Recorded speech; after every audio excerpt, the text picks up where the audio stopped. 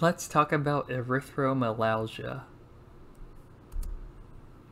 So this is a painful syndrome that can be idiopathic or can be inherited or can be secondary to myeloproliferative or autoimmune disease.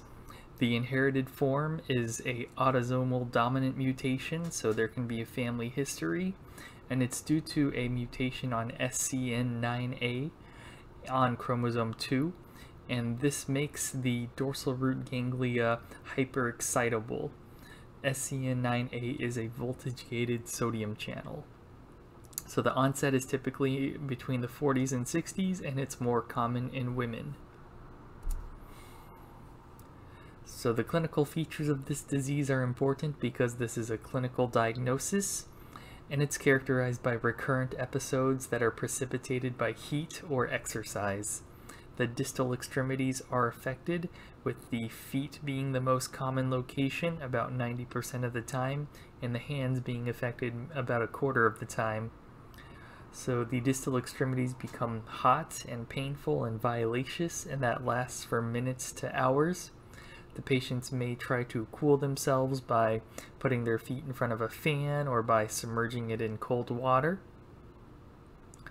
And importantly, the patients are asymptomatic between episodes. So for diagnosis, it is a clinical diagnosis. The skin biopsy is not specific. When you suspect the diagnosis, send a complete blood count, and that's to look for myeloproliferative disorders uh, polycythemia vera is specifically something that can cause the disease. You'll also want to screen for autoimmune diseases such as lupus. For treatment, you'll want to treat the underlying myeloproliferative or autoimmune disorder. Also avoid provoking factors such as avoid going into hot environments.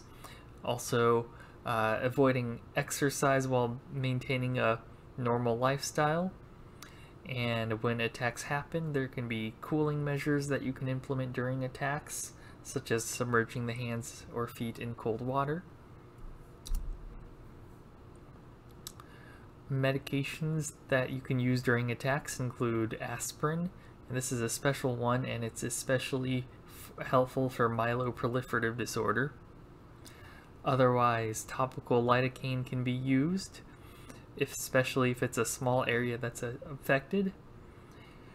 And other medications that can work include gabapentin, for pregabalin, and venlafaxine. So the prognosis is variable.